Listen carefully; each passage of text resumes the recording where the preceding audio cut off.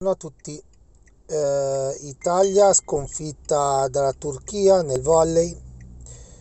Eh, il fenomeno Antropova a cui è stata data la cittadinanza per meriti sportivi che poi vorrei ancora capire quali sono perché non ha ancora vinto niente.